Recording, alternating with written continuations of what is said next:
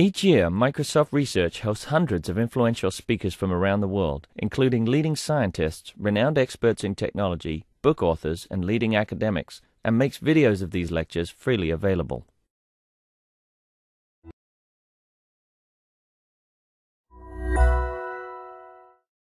Good afternoon. It's my pleasure to uh, invite uh, George Leifman from uh, the Technion in Israel to uh, give a talk. George is finishing his PhD under the supervision of uh, Ayellet Tal. He also worked as a core architect in Intel. Thank you, George. Okay, thanks, Eyal. Uh, so, as he already told, I am uh, from the Technion. I'm finishing my PhD now, and uh, my research uh, mainly focuses on geometry processing uh, problems in both computer graphics and computer vision. Uh, the common topic of all my works is similarity for shape analysis. And I would like to talk about this topic, and let me start from discussing each one of the components of the title. I will talk about what is shape, what is shape analysis and uh, what is similarity and uh, how, is it, how is it related to shape analysis. So let's start with the definition of shape. According to the Oxford Dictionary, shape is defined as the external form, contours, or outline of, some, of someone or something. Uh, so when considering images, the outline of the shape is a curve. My research focuses on 3D objects whose silhouette, silhouette is given by the object boundary, which is a surface. Uh, the most common representation of surfaces right now is a triangular mesh, which uh, consists of vertices and faces, as you saw here. Shape analysis aims at developing, developing computational tools for understanding uh, the object shape. It is used in many application fields. Uh, in archaeology, for example, we want to find similar objects or missing parts. In uh, architecture, we would like to identify objects that fit to the specific space. There are also a lot of uh, other fields like medical imaging, security, entertainment industry, computer-aided design manufacturing, and many others. Uh, let me mention only a few specific uh, applications, those that are related to the, my research and show examples of my work uh, on these areas. Let's start with the segmentation. This is probably one of the most popular uh, application in graphics uh, for the last uh, 10, 20 years. In segmentation, uh, the goal is to divide uh, a given surface into meaningful components. Here you can see on the left uh, a result of our hierarchical segmentation algorithm from 2005. You can see the sumo warrior segmented into the limbs, the head, the torso.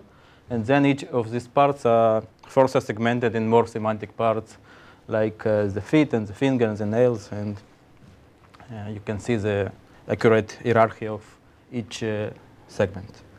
On the right, you can see a very partial uh, list of uh, papers that we was uh, were published in the this area in the last decade. Another example is of shape, shape analysis topic is uh, matching and retrieval.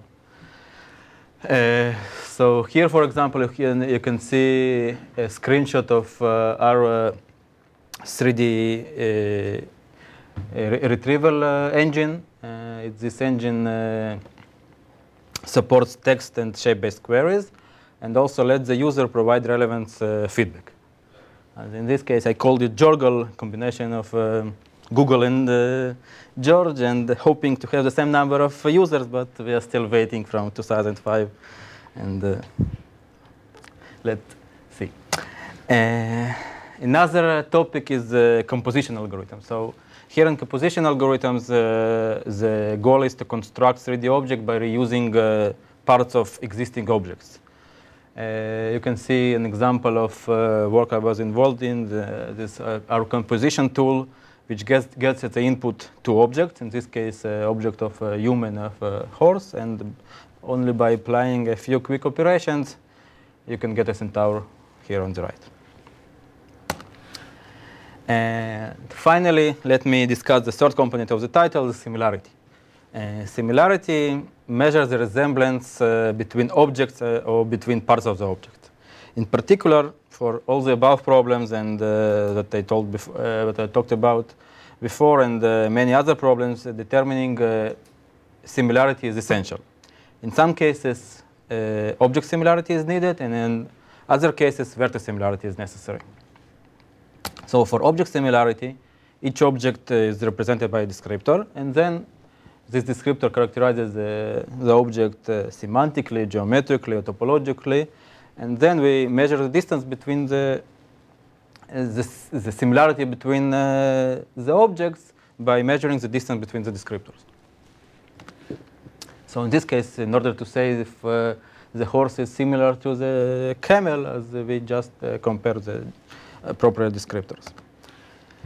Uh, in case of vertex similarity, it is done by representing each vertex by descriptor and then comparing the descriptors in the same way. Uh, many various descriptors uh, were recently proposed also for object uh, and vertex sim similarity. I will not go to the, all of them, but let me mention only a few of them.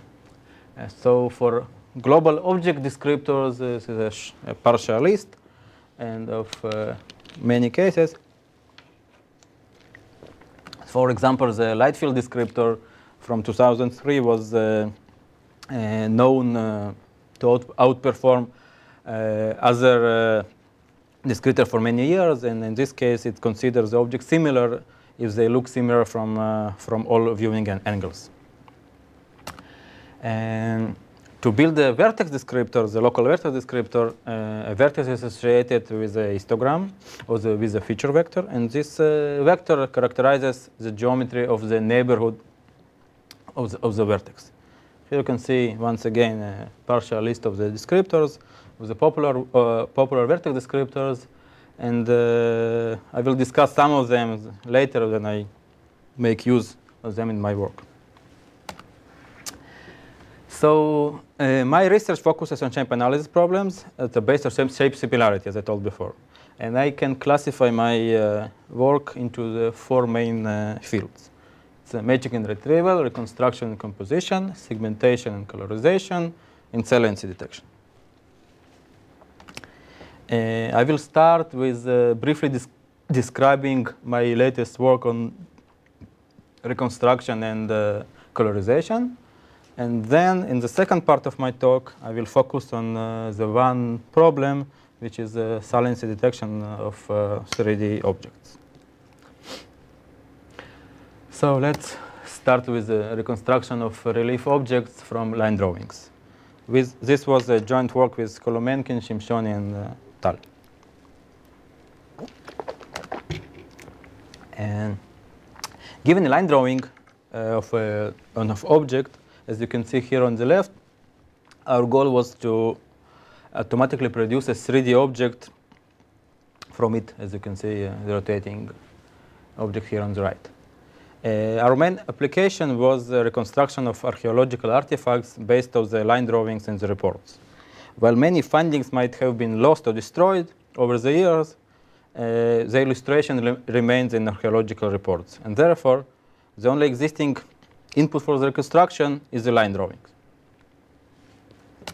Okay, this problem is uh, challenging and, due, and it's due to the following reasons. First, uh, the lines are usually very sparse, and uh, thus the object is not fully constrained by the input.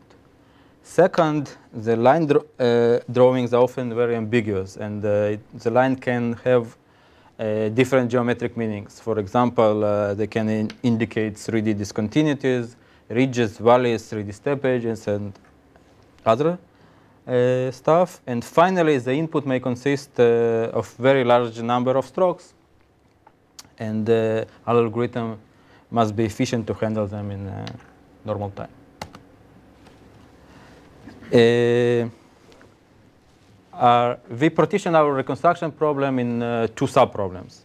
First, we reconstru reconstruct the base, and then on top of this base, we reconstruct the relief, as you can see here. Uh, the main idea of the base reconstruction, which is based also on similarity, is uh, given the silhouette of the object, we look only on the outline of the object and find in the, in the database a 3D object which, which is uh, most similar to the silhouettes of the drawing uh, on the picture. And uh, then when we have the most similar uh, object uh, base from the database, we, we are trying to deform it to better match the drawing. The second part, the relief, relief estimation, is uh, based on the idea of computing the rel relief by reducing this problem to the topological uh, graph sorting. Uh, by the way, just uh, the yes. Uh, for every input, you always get this side and then bottom. Is that what we're looking at here? It depends on the archaeological report, but uh, in some cases we have only one view. In some cases, most of the cases we have two orthographic views. In some very, very complex cases, we see three views uh, from three orthographic uh, views of the. But in all of them, you, you have some something like this, a plate or sauce or whatever, and the task is reconstruct the bottom. Like, do you ever have ones where it's like a cup or a vase, and you want to reconstruct the side? Yeah, we have ways. Uh, Okay. I, I, I think I will show some examples of the ways. But in, th- in this case, algorithm works with uh, three inputs. It can work only with one input, and can wo- work with two or even with three. Okay, so when you say base, you don't mean the bottom. You mean No, I'm not saying a base. I'm, I'm talking about this, the smooth uh, object which doesn't contain any relief. So Yeah. essentially, what we do, we take these uh, two, two drawings. We get only the outline of each, them. And according to the outline, we find in the database the most uh, similar object, smooth one. When we find, found, uh, found it, we deform it to match the original drawing even, even better. And then we have the smooth base. We take the second step of the relief estimation, we get the relief and put it on the top, on top of the smooth base. Okay? Uh, just I was just uh, wanted to mention that uh, la- last week in the CVP I saw very similar uh, work of uh, reconstructing uh, 3D objects from images by Silvio uh, Savarese uh, from Michigan, and uh, they also use some kind of the pri- prior and try to deform it uh, uh, to get uh, better uh, 3D objects. So in our case, I think when using a database, it should be even to, um, easier to get uh, more uh, accurate results. Okay. So I'm not going into, into the details. If you want, you can ask me or see the paper, but I will show only a few results. For, for example, here it's a part of the Roman oil lamp. As you can see here, the outline of the object and then the relief on it, and both you can see that also the object and the relief. Regarding the relief, Mhm. uh, you can see places where there are very gentle, probably very small curves that are not in the final relief. And I was wondering why, because the because the geometry is not fine enough. The, what's the reason for this? What, For instance, in the bottom of the flower, just between the two dolphins, yeah, this bunch is not Mhm. represented you have a small uh, stuff So, here. so without going into details, I, I was just curious if this is because the resolution of the geometry is not fine enough to create these, or yeah. It's probably because of the pre-processing what we do on the of the image. The image here is pretty. ah, so you lose them in the pre-processing? Yeah, probably most of the. You can see here two or three of them, but Okay. during the pre-processing we need to to, to get all the edges. So we just uh, run a edge detectors uh, on, on on the image to understand where, where the lines are. So some of them are these ones uh, got, got lost in, in the process. Uh, but in most of the cases, you we will see the fine uh, details. For example, here, uh, also here, some of them are smooth, but another result is also the full Roman oil lamp, and you have here uh, relief of the horse and the outline of the object, and both are pretty similar to the original one. Uh, this one. We don't, we don't have the ground truth. The only stuff that remains is only the, in the archaeological reports. Artifacts that you have, both the artifact and the drawing, to see if this. And some, we, we didn't have uh, any of them. In some of the cases, uh, along with the drawing, you have a picture of uh, a photo of the of the object, and uh, we tried to compare it, but most of the comparison was done uh, manually. It looks pretty similar. Uh, we tried. We even now we are working on. Uh, another work uh, how to use also the drawing and uh, and the e photo uh, in order to enhance uh, the result and to see to make it better maybe may also may maybe to put a texture on the on the object but it was not in this specific work so we can see here another case of the relief on the vase and uh, this was uh, the question you asked about the ways and the top and the bottom. So in this case, you also hear that uh, the outline of the of the object is similar. Example of what did the formation, how did the original database object Uh, look we have it in the paper. I don't think I have it here in the, the presentation. I can show you. In the paper, I have the, all the steps. Steps. So in this case, uh, I think the vase was uh, very smooth, uh, without any ed- those edges, without uh, those edges. So it was just a goblet with a, with a, with a smooth uh, uh, bottom, and uh, all th- this. Like No, uh, in this case we didn't use this uh, assumption. If you use it, you get better result. Uh, to tell you the truth, uh, when you look on this object from uh, from the top, you see that the circle here is not complete circle, but it's it's very similar to it, but it's more an oval since we didn't use the object surface revolution. If you put it inside, it will be a complete circle. So in this case, you have a lot of uh, lines. I think in this case we had uh, 500 or 600 lines uh, needed to be accurately reconstructed here on the uh, on the relief, and all the lines are interconnected, and it has uh, its challenges. Okay, so this was the first topic. Now let me talk briefly describe the our colorization uh, work, and uh, we have uh, two papers uh, on this work. So in general, colorization is a computer-assisted assisted process of adding color to black and white images or movies. In the past decades, a lot of colorization were proposed in computer graphics and computer vision, and uh, here you can see a pretty popular uh, work of uh, Nat Levin from 2004, where by adding only a few scribbles on the on the images you can see on the left, you run their algorithm, and you can see this uh, pretty nice uh, image, on, uh, colorful image on the right. Uh, we extend this approach to the, to the surfaces in three dimensions. Uh, usually, meshes and surfaces are textured by images, by, but in some applications, we don't really need the rich textures, but rather require colorization by a few, only by a few colors. An example of such application is paint reconstruction of ancient sculptures.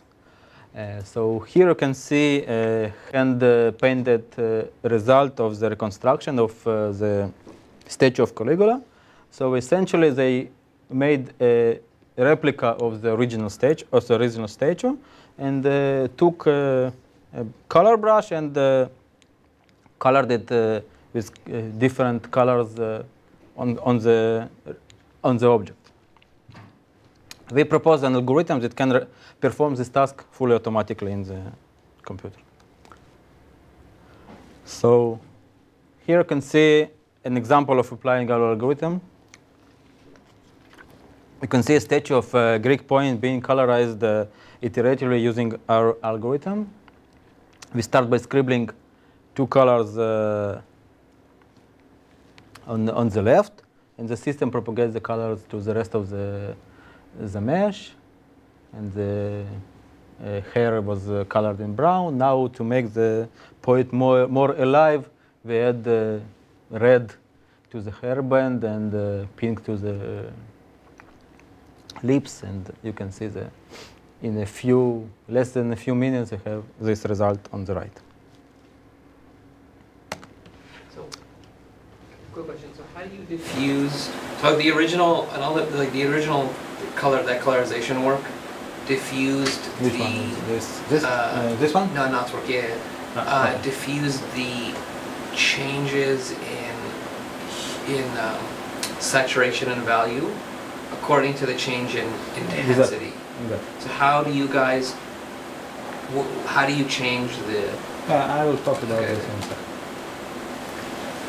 So the extension from images to meshes is not straightforward. It is due to following issues. The main issues are the uh, two the following one. First of all, the choice choice of points to get the same color. So in 2D, as you said, it was it is done according to the intensity. So if you have two neighborhood pixels, if they have the same intensity, gray color intensity, it's most likely they will have also the same RGB color. In the case of the 3D meshes, we don't have any intensity channel, only the geometry. And the second challenge is uh, the color bleeding, which uh, occurs on also in the images. So in images, uh, uh, the technique is uh, to use uh, uh, edge detection, and by using the edge detection to avoid the, the color bleeding. And then meshes, most of the edge detection algorithms uh, generate very broken curves, and it cannot be used. So in order to uh, overcome these problems, for the in order to choose the points, the vertices that have the same uh, neighborhood vertices that have the same color, we use vertex similarity. So essentially, we have two vertices which uh, uh, characterized by a descriptors. It characterizes the geometry of the neighborhood of the vertex. And then if the if uh, two vertices are similar, uh, fro- uh, from the point of view of the geometry, we say that uh, it also should this vertex should have the same, same color. And uh, this uh, assumption leads to optimization problem, and the result of the optimization problem, similarly to the Anat-Levin work, is the colorization itself. The second issue of uh, uh, color bleeding avoidance is uh, here we uh, propose a novel direction field on meshes. Uh, so here you can see, uh, for for example, uh, a color bleeding from one uh, range to another, since we had the uh, gap in the edge of the of 3D edge. So we propose to use a direction field, and uh, what we do is that we uh, um, direct the the uh, the vectors of the direction field to be uh, to get the opposite orientation. Then they have then they reside on the different uh, sides of the uh, of the of the edge. So we can see here that uh, the the simple constraints uh, are here. And in this case, we just uh, want the uh, field to be smooth, so all the green lines are generated automatically, and as a result, you have uh, this field. And then this direction I used to penalize the similarity, measuring the of the, the neighborhood vertices. As, as a result, you don't have uh, here any spilling of the color. What? How do you generate that field?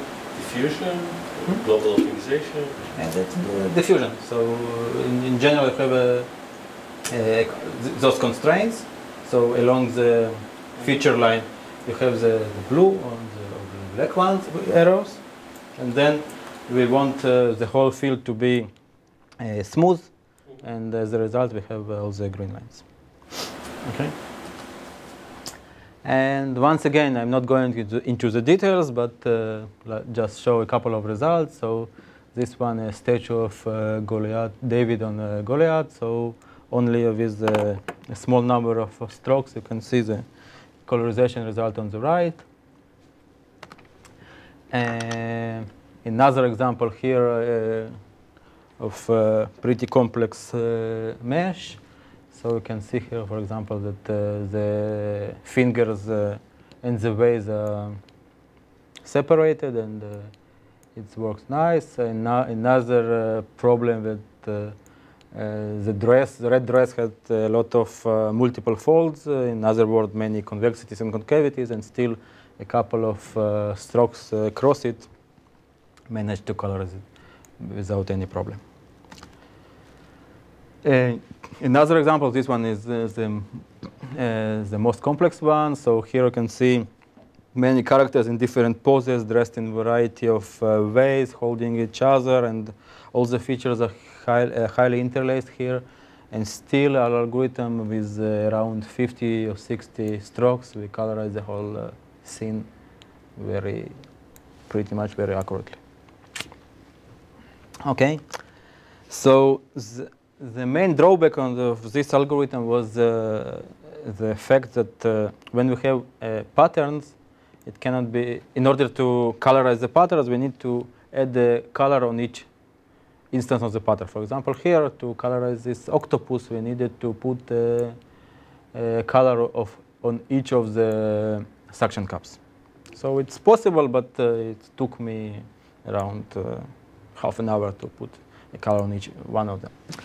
And so this year on the CVPR, we, uh, we had a work that uh, handles this uh, problem and uh, proposes an algorithm that can do it automatically. So here you can see a vase with uh, different pat patterns and uh, only by uh, scribbling on uh, once uh, on each on, on, a single instance of each pattern or and around it, it's enough to colorize the whole uh, surface according to the pattern and to have the colors on, on these cases You can see by the way that uh, not all the instances of the same pattern are identical. We have uh, reflections, we have uh, uh small scale deformation, and uh, even uh, some of the cases had non-rigid deformation, and still our algorithm overcame these problems. Do you have a sense of how invariant the algorithm is to which pattern you select? What do you mean? Well, the, so your input is all i the ones in the center, which also are I generally the ones. It's uh, pretty arbitrary. We could also get the one in this uh, here. So why did I put the input in the center, not in the side? Well, no, no. My question is more like, do you have any sense of when this starts to break down? How different do the patterns have to be? Yeah. I, I will show some of the limitations at the end that will show that if the pattern is very uh, different, it won't work. But uh, as long as you, uh, algorithm is robust to, fully robust to transition, uh, translation, uh, reflection, rotation, robust, algor is, algorithm is robust to scale, fully robust to scale, but the implementation, in order to implement it in the reasonable time, it's robust only to the 2x uh, sizes of scale since uh, the search in the specific windows and more than that it was. Uh, For example, these parents were now on concave surface, would that still color? Yeah, it should it should color. Okay. Um, most likely yes. Um, so let me talk about the main uh, steps of the algorithms. So given a 3D object uh, here, this is, is a, here you can see a zoom to the previous uh, surface. Uh, given a 3D object, the user scribbles only uh, on, on, on one instance and around it, and then uh, what we, we we produce a couple of automatic strokes. In order to produce the automatic strokes, we use uh, first of all we describe uh, we characterize each vertex here with descriptor. And then we classify these descriptors with, uh, in accordance with the pattern they are inside. So as a result, of the result of the classification is those automatic strokes. As you can see here, not the whole surface is, uh, has uh, labels here, only part of them. since uh, it was enough to get only the results what fully, we are fully confident in in order to get the colorization. So, so the last stage is applying the colorization from the previous paper on these automatic strokes, and we get this result. Okay? I'm not sure, did you mention which descriptor you're using? Here. Exactly uh, details of the descriptor? Uh, in the paper, of course, here not, but uh, I can say it a couple, a couple of words. Uh, first of all, we perform uh, for each vertex here, we perform uh, quasi-segmentation by using the original colorization. So if you look here, we run for from each vertex here uh, colorization algorithms, whose input is the, the yellow strokes and the, the brown ones. And as a result, you, you, you can see here that the region of the goblet is colorized in fully colorized in brown, and uh, the rest is not. So the first, uh, we, and we perform it for, for all the vertices. Okay? And as a result, we have uh, for each vertex uh, um, some kind of a region that uh, it, uh, it, it describes it. And this region is uh, very similar to the region of the original pattern. Okay? And now we produce two descriptors. One of the descriptors describes the region itself, and the second one descri- uh, characterizes the curve that bounds the region, regions. So for the region itself, we, we use the PFH descriptor, uh, point fast histograms uh, from 2008, I think. And uh, essentially, it's a descriptor that uh, um, use. Do I have a?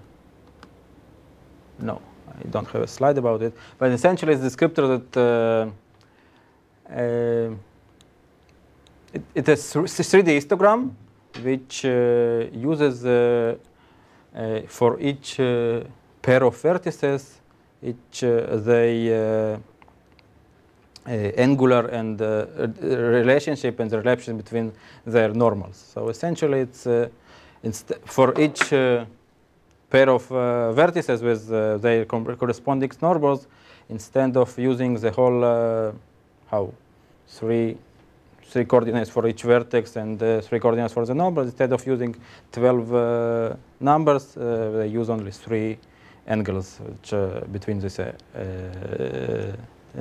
of vertices. So we use this descriptor to describe uh, the region, and in order to describe the, the boundary, we use torsion and the curvature of the boundary. And then we start with, with the classification process. The uh, problem here, I think I have uh, uh, the problem in classification is, first of all, the number of training examples is very small. So in order to, uh, to enrich the number of, of the positive foreground examples, the brown ones here, it was pretty simple. We can just uh, use the colorization and to understand which uh, points are, uh, as, a, as a positive examples, the foreground ones. But uh, for the negative examples, kind of problematic since we don't know on this on where starts uh, the next instance of the pattern. So we can do just a flat fill here. And uh, because of it, we we used bootstrapping uh, for the for enriching the number of example. We used one class SVM on the on the region descriptor, and by that we found uh, more uh, positive examples, more uh, brown, brown labels. But the problem of using uh, only one class SVM, which uses only positive examples training data, that it also found uh, many uh, false positives. So, for example, on, uh, in this case, in addition of adding uh, the brown dots on other goblets, we also added some brown dots on, on these uh, flowers. And then we use the second descriptor, which is uh, uses only the boundary of, this, of, the, of the shape, and uh, to filter out all the cases where, uh, where was where which were incorrectly classified by the one class SVM. And as, as a result, we had uh, only the cases of uh, uh, positive examples ri- right, right here. Okay? Uh, another problem of our case, as I already uh, told, is the mis misclassification is uh, totally unacceptable since if we have only one misclassified input stroke, it can finally lead to the wrong colorization of the whole surface. So in order to overcome these problems, we don't classify the whole vertices, all vertices of the surface, but classify only the ones that are really, we are really confident in them. And uh, in case of using SVM, for example, we can just take the uh, vertices are very, very far from the uh, separation plane. And in these vertices, uh, we are very confident. Okay. So once again, it was only a brief description of the algorithm. We are not going into the details, but as a result, you can uh, see here some of the results. So this one is a famous uh, 3D object of uh, uh stars uh, on the node, and, you can see here then two strokes around the star and uh, two strokes on the star gives these results with pretty much all the stars were correctly colorized. Turano, this one. This example is uh, around, I think, uh, 100 uh, vertices, and it runs in uh, 20 seconds or 30 seconds. And uh, for this example, more complex, and uh, you can see that this piece of jewelry is symmetric and has repeating reliefs on them and uh, I uh, scribbled a couple of uh, colors only of one eighth of the of the symmetry parts, and the whole object is was. So here, for instance, I see the same geometric shapes differentiated by scale only. So you will prefer to have the same scale if there are contradiction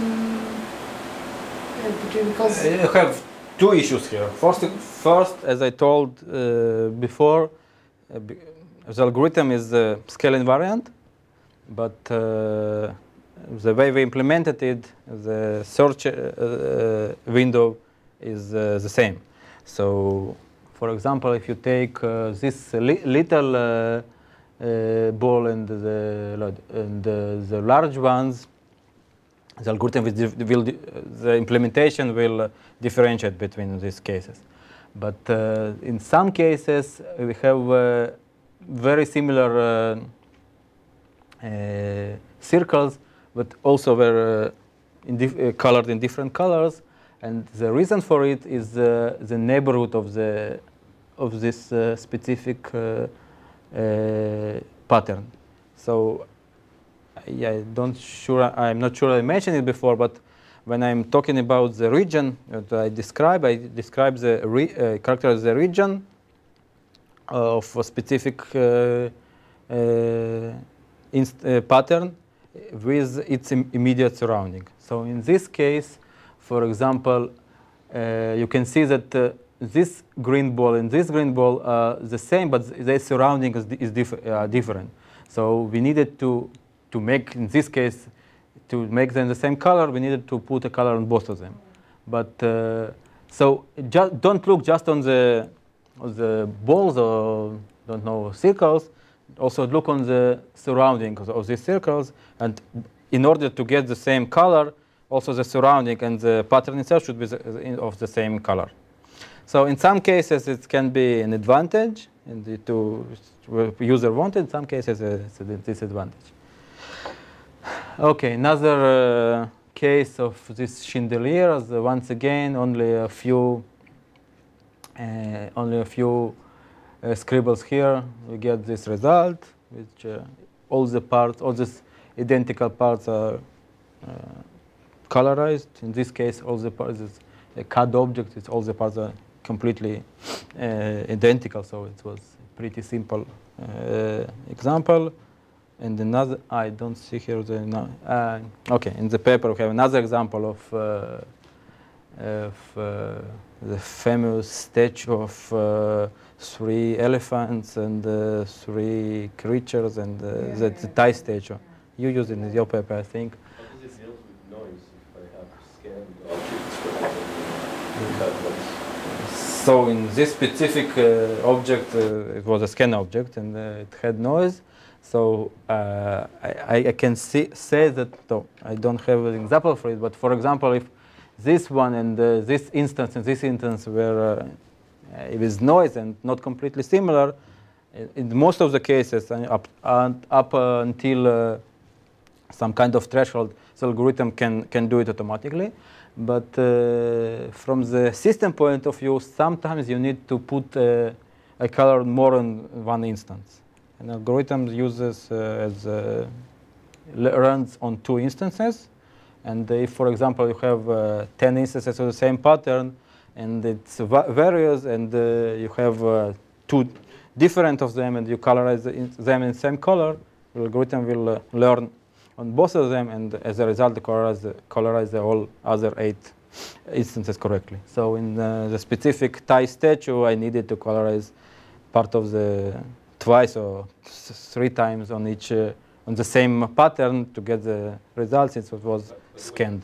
What do you do with non-manifold meshes? It seems like it's non-manifold, at least in the I don't have any problem with uh, man- man- manifoldness here. I guess it would It's on. it's not connected, not manifold, but uh, I guess it would depend on the shape descriptor, what kind of descriptor you're using.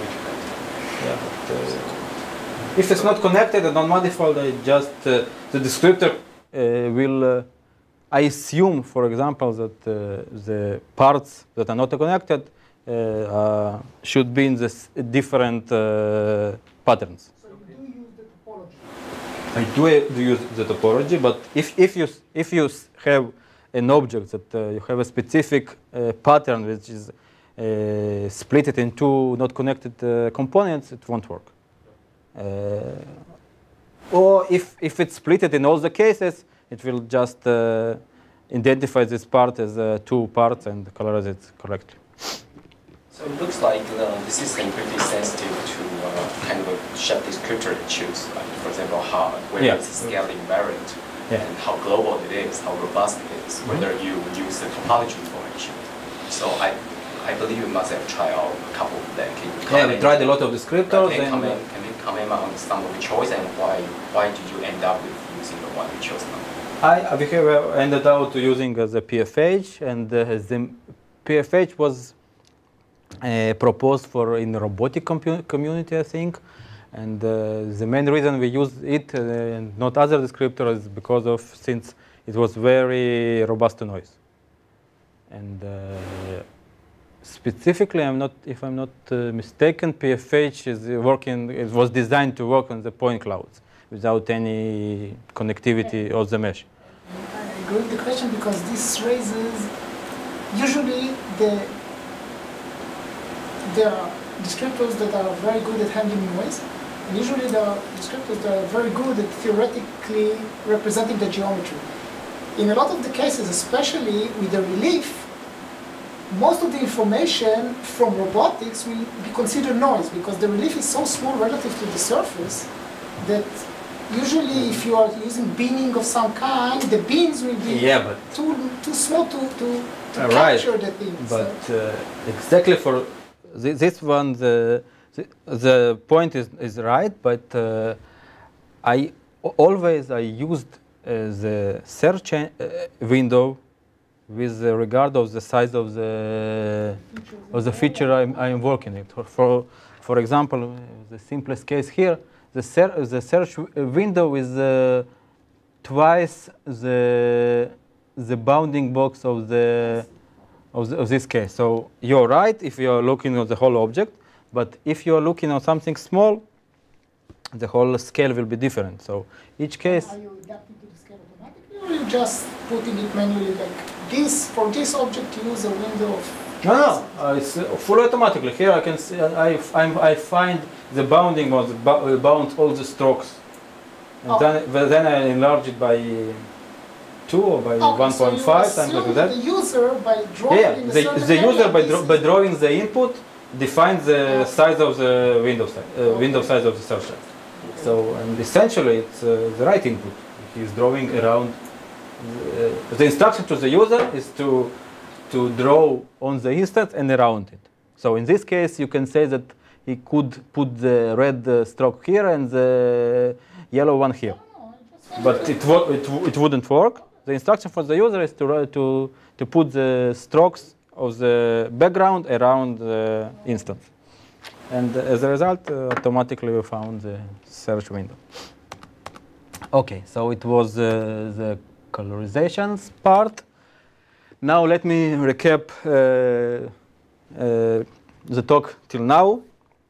Uh, I showed uh, algorithm of reconstruction from the lines, getting this object with a relief. Then I showed the colorization algorithm that takes only the reconstructed object and by a couple of uh, strokes you get this uh, nice colorful object. And now I will talk uh, a little bit uh, in detail on the last uh, topic, saliency, saliency detection and saliency-based viewpoint selection. The, given this object, we show the viewpoint from which uh, we can see the most informative view of this specific object. Okay, so this is the way I connect all my works. And so it was uh, oral CVPR last year, eh, last year, and uh, detecting uh, interesting or salient uh, region of an object attracted a lot of attention in computer vision and computer graphics in the last decade. Most of the work has concentrated on images and videos. In this work, I focused on uh, the saliency detection of surfaces, and uh, then I will discuss the second part, the viewpoint selection using this saliency.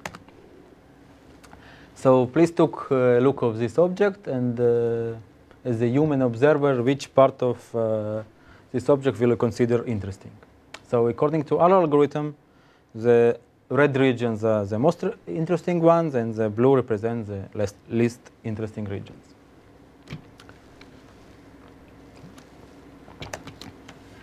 Uh, many problems in computer vision and computer graphics can, can benefit from the detection of uh, salient or interesting region of the surface.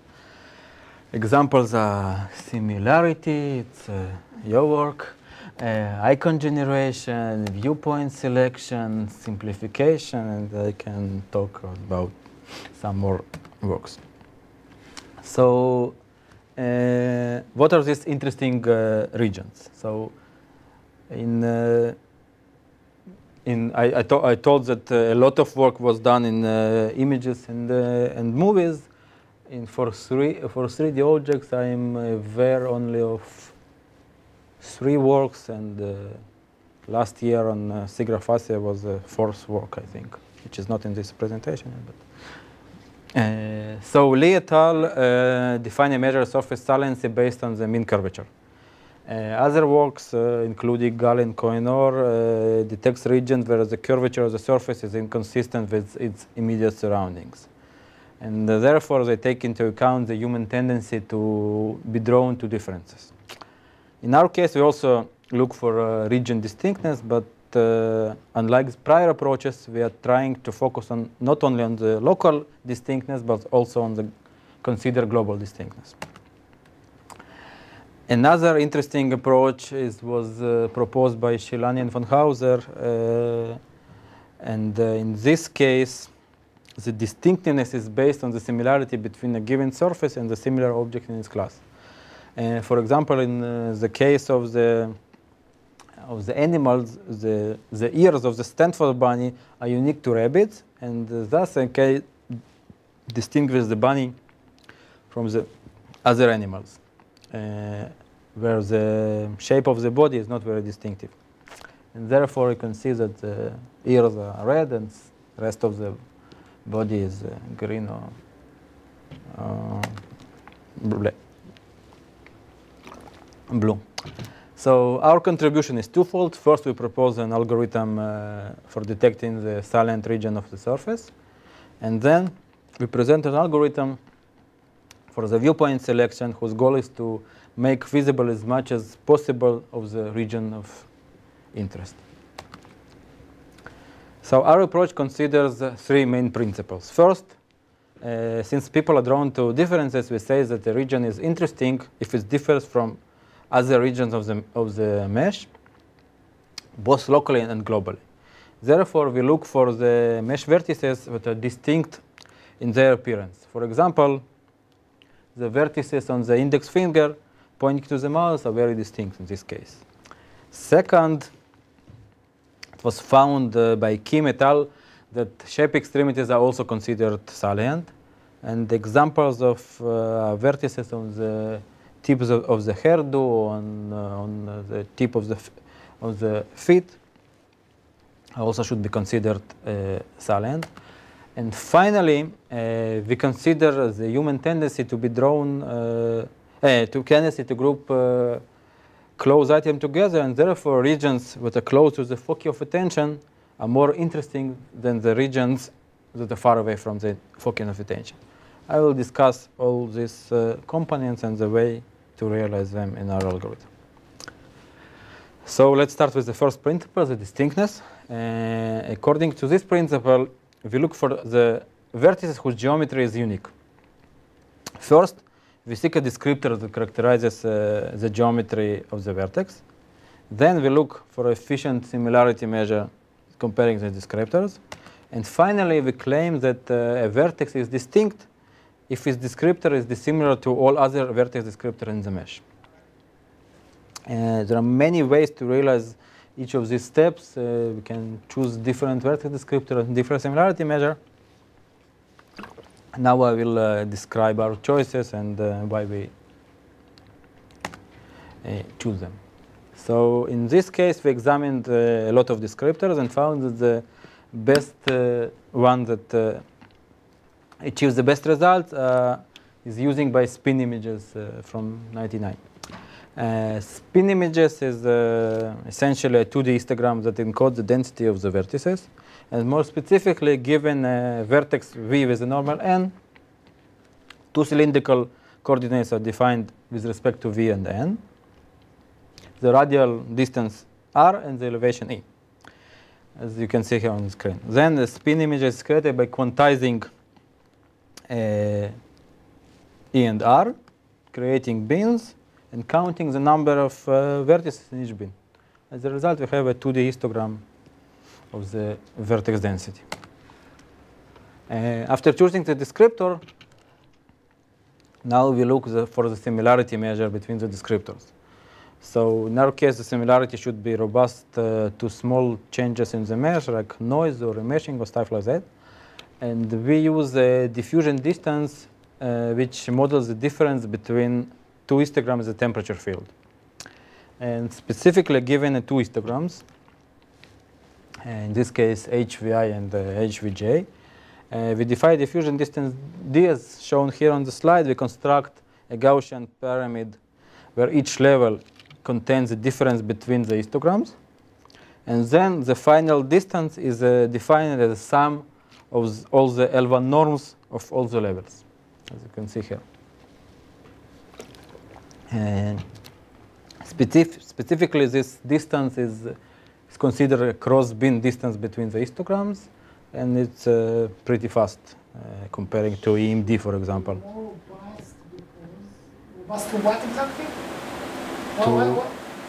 You have a histogram, Okay. and in case of histograms, uh, there are al- always you have two approaches: to use uh, uh, bin-to-bin distance, which is fast, but has problems between uh, when two similar bins uh, because of the noise or because of the meshing, uh, it's, it's pairs.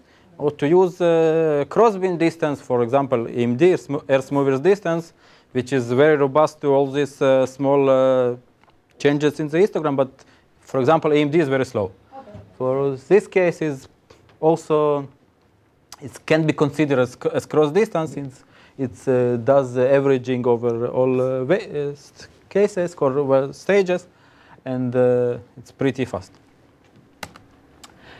Uh, finally, given the dissimilarity value d between each pair of uh, vertices, we compute the distinctness value of, of each vertex. We take a vertex and compare it to all other vertices of the mesh, and if, as you can see here, if the distance between the descriptor of this vertex and all other descriptors is, uh, is high, the vertex is distinct, as you can see here. and colored in red. And otherwise, if it's, uh, the distance is not high enough, it will be not distinct, and as a result, it will be colored in blue. Okay. However, in our case, since we want global uh, uh, distinctness, this consideration is insufficient. We claim that the vertex is distinct when the vertices similar to it uh, are nearby and less distinct when the resembling vertices are far away. And this is so since uh, similar vertices that are um, far away can indicate a 3D texture. And hence the dissimilarity measure should be proportional to the difference in the appearance and inverse proportional to the geodesic distance between the vertices. And finally, we say that uh, vertex y, uh, vi is distinct when it's highly dissimilar to all other vertices. Can in different scales? We use it in different scales. All the computation is then uh, used on different scales. So it's distinct if it's in, at least in one scale it's, it's distinct? We just average between the scales. If it's distinct in one of them, you have a high score in the one of them. Finally, it's uh, only uh, even after averaging, it will be high score in the. We try different approaches also by taking the maximum and uh, at the end uh, putting the average with the best uh, result. Okay, so until now we defined the distinctness of the vertex, which was uh, the first principle. And uh, it took the, into account the dissimilarity to other vertices and was weighted by the geodesic distance. The second consideration was the shape extremities. As, as you can see here on the slide, the red dots are the shape extremities. The question is how to find these red dots. So we use the following approach. Given object, uh, we first transform it to pose invariant representation. As you can see here, given this dog, we transform it to pose invariant representation. Then we determine uh, if it's uh, a limb-like or not limb-like object. And finally, we find its extremities. Let me discuss each of the steps. So first step is uh, multidimensional scaling of the 3D. Uh, in a case, uh, in this case, multidimensional scaling is in in 3D transforms the mesh such that the Euclidean distances between the points on the transformed mesh bec become similar to the geodesic distances between the corresponding points on the input mesh. Okay. As a result, you can see that all the uh, parts of this monkey are straightened uh, up, like, like a fold tail and stuff like that. Okay, so here we have a scale invariant uh, representation of uh, this monkey, which ignores fully ignores this pose. Now, uh, to decide whether the object uh, has a limb-like structure, we know that the volume of the round shape is similar to that of its convex hull, but the volume of the limb-like object differs from the volume of its convex hull. Therefore, we utilize a procedure which wor works, a very simple one, which works well in practice. We compute the ratio between the volume of the convex hull of the MDS to the volume of the object.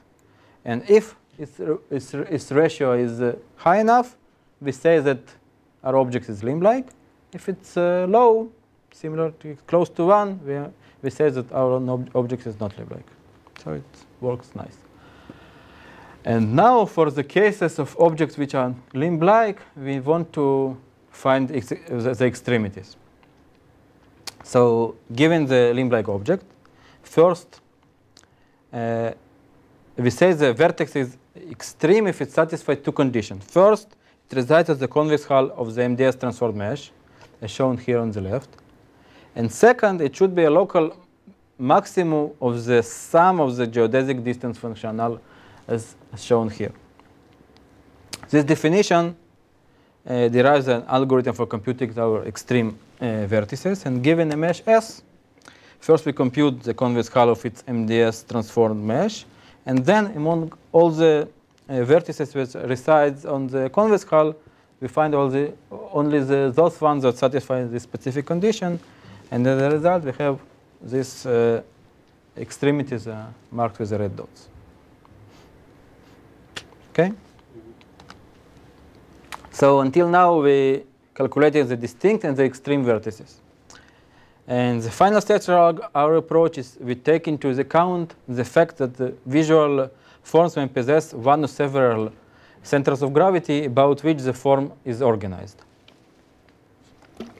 Therefore, the region that are close to the focal unit of attention should be more interesting or more salient than the faraway regions. We model this effect as follows. We define a fraction of vertices with the high, highest distinctness value as the, as the focus points, as shown on the left here. And the association A of the vertex vi is uh, defined as a function of the distinctness of its closest, uh, closest focus points and, to, and as a function to distance to this point, as you can see here. In, you can uh, see it as a small Gaussians around each of the focus points. Okay, finally we integrate all the results together of the algorithm by applying this uh, formula. And the degree of the interest of vertex vi is defined as the maximum of the distinctness d uh, and the extremity e, taking into account association a. The result here is shown on the right. Let me show some results of the sal saliency of the object. So uh, again, the regions that the color in red are most interesting, most salient, and the blue ones are the least. The least. You can see here that uh, in the most of the cases, usually the expected salient region uh, are found. For example, for the dog, uh, algorithm finds the facial, facial features, the feet, and the tail as interesting. And you can see the, the facial features are the most interesting. For example, for the chess set, the chess pieces are more interesting than the board. And then you can see the unique pieces like the knight and the queen. Kings, kings and queen are more interesting than the regular pawns since there are many regular pawns and less unique cases. By the way, why symmetry, like in the dog's eyes, didn't reduces some of the uniqueness of the eyes? It reduces some of the uniqueness, but not uh, all the uniqueness. You have only one point on the second part and uh, you sum it over the whole mesh. And, and in the previous example of this angel, uh, you have the risk that the hair, which has curls in it, and more uh, interesting geometrically, will steal the attention. Right. Uh, the, the face actually wasn't that interesting. Interesting for us when we know semantics, but not yeah. So first of all, our algorithm has nothing to do with high-level features, only the low, low level ones.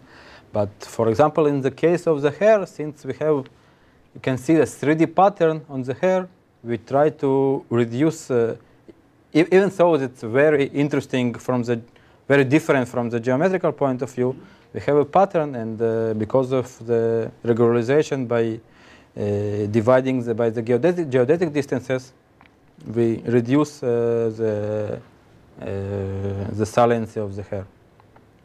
Is considered as a pattern.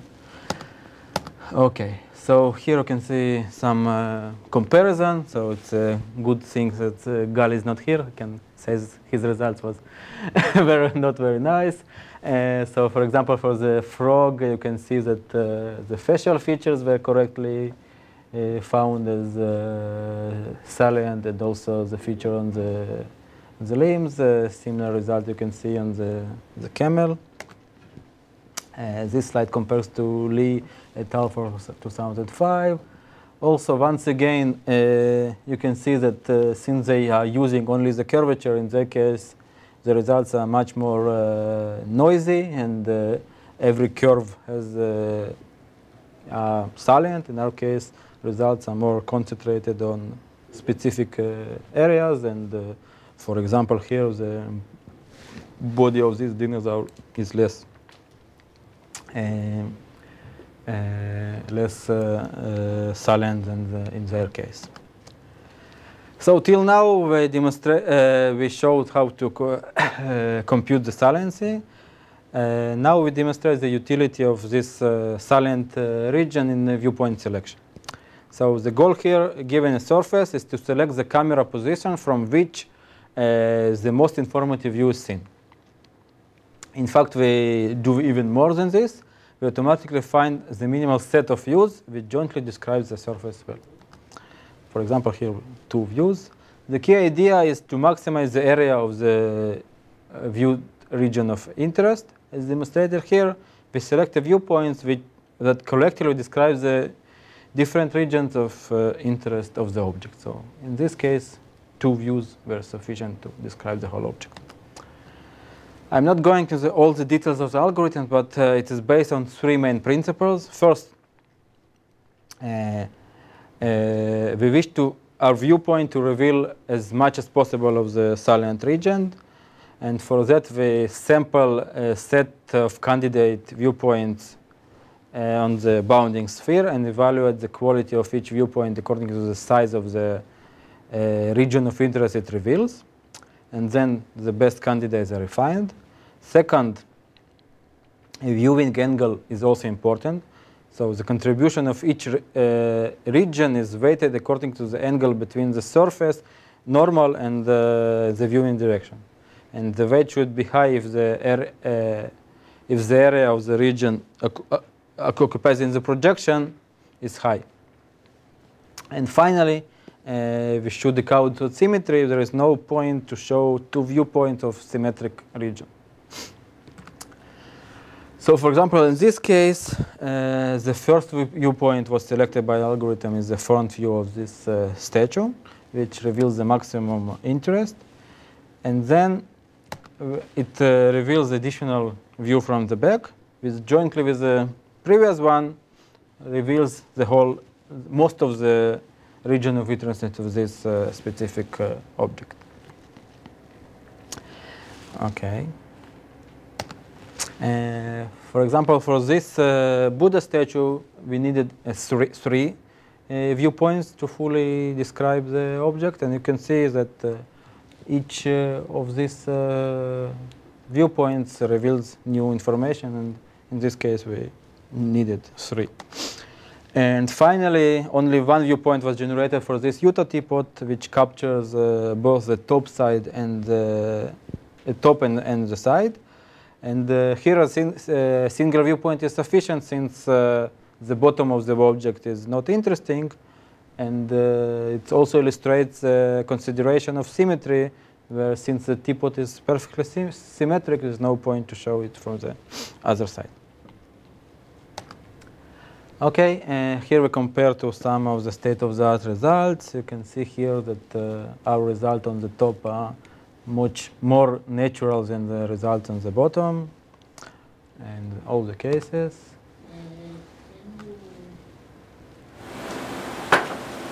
So, silly question, but if I, the, the upper ones is your, your method?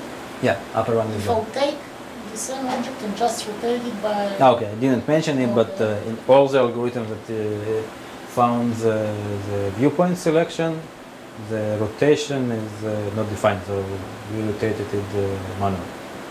So the, Oh. the only thing your algorithm found, it's only the viewpoint you're looking from, and the rotation and the plane of the projection is uh, fully Okay, not so when you compare to Laga is using only the selection of the view direction, using the same uh, measure of uh, importance or uh, They don't use importance for uh, selection. different Salience. They don't use saliency for, for viewpoint selection. In this case, Lagard uses, uh, maybe they do. I don't remember the, uh, the exact details how. What was, I, I, I only remember the mesh saliency paper. What was this paper? It was paper only. Or what did they try to... I, I, I think they tried to use curvatures. For what? Viewpoint uh, Yeah, for viewpoint selection. This paper was only from, on the viewpoint, Okay. viewpoint. They used curvatures. You can say it's similar to the salience. Uh, uh, this one uh, also compares our uh, result to other three results. Uh, as you can see here that uh, we think that our result is better since it's a three-quarter view, which is popular in art and stuff, and reveals more information than only the side view. Um, so in addition to the comparison we, we did, we also tried to uh, do it uh, more uh, quantitatively. As so there is no available uh, ground truth for the best viewpoints. So we conducted a user study. And the goal of the user study was to evaluate our algorithm against uh, the views considered uh, as, uh, as informative by the human uh, observers. Uh, so we conducted the study as follows. Uh, for each of the 79 objects, we produced 12 images uh, taken each one from the different viewpoints, sampled uniformly on the sphere. And we asked evaluators to mark the most informative uh, views of the object, and each evaluator can, uh, could mark uh, more than one view. We had 200 evaluators and obtaining 68 evaluation and average per object.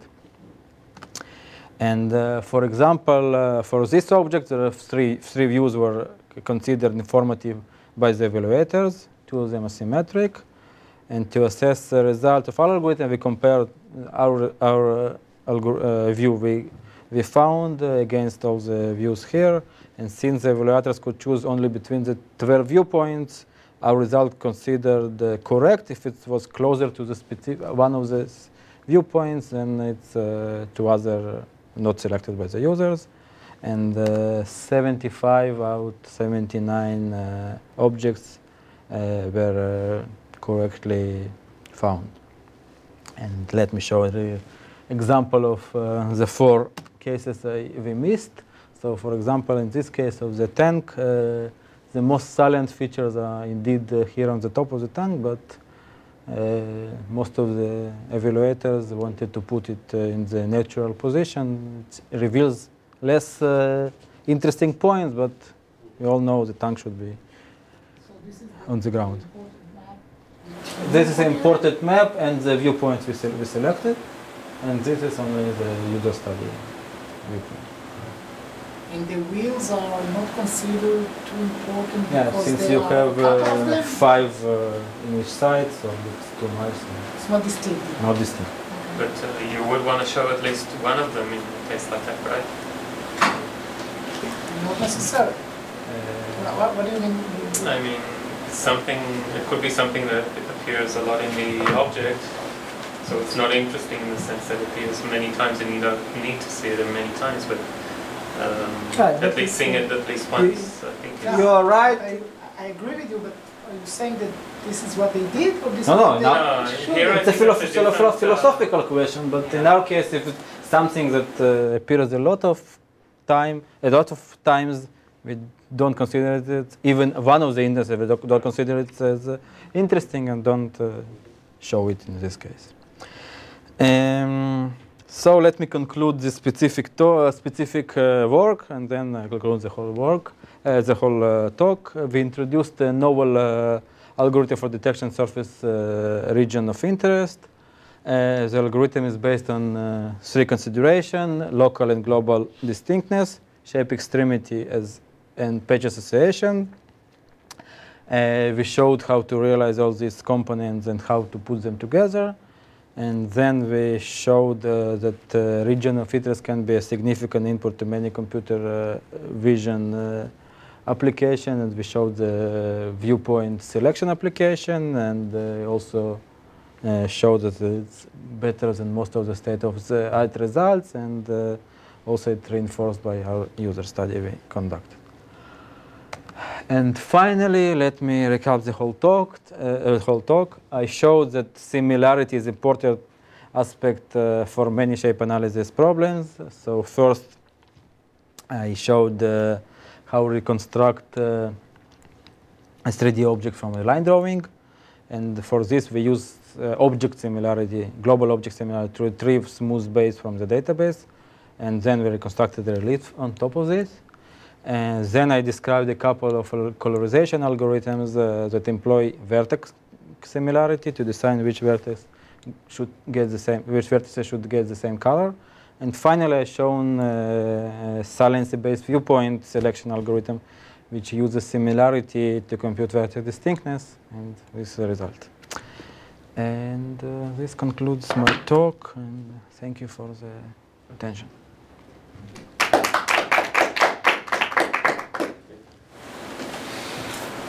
Okay. Not sure we have more questions. Ask through all the. If you have more questions about the details, I have some backup slides I can show you. Okay. Thank you very much. Do you want